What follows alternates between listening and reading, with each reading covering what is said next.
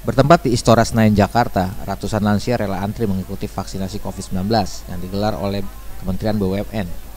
Antrian panjang hingga membuat beberapa lansia harus memakai kursi roda karena tidak kuat berjalan. Vaksin yang keberapa, Pak? Satu. Pertama. Ya, Oh, tadi ada kendala nggak sih, Pak?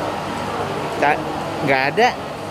Belum ada, nggak, nggak ada kendala. Ini kan, ini kan maksudnya kan eh, lansia ya, Pak ya? Ya, Nah, ada efek nggak sih, Pak? eh? Tadi ada efeknya nggak sih tadi? Ada protokol atau apa? gitu? Ya saya tadi diperiksa tensi saya naik dikit. Naik dikit. Ya, jadi harus nunggu. tegang kali Eh, Tegang gitu ya? Iya, bukan, bukan tegang kok. Cuman kurang tidur kali ya. Sebenarnya sih 5000 tapi ternyata antusiasmenya sangat besar. Ya. Kemarin saja mencapai 7.290 sekian.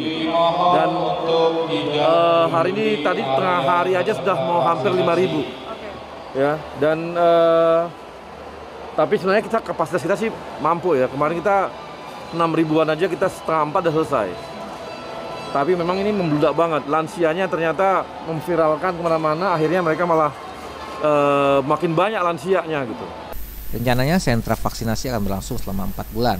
Tidak hanya lansia berasal dari Jabodetabek, namun lansia yang berasal dari luar Jabodetabek akan juga dilayani. Baito Herlambang, Jakarta melaporkan untuk CTV Network.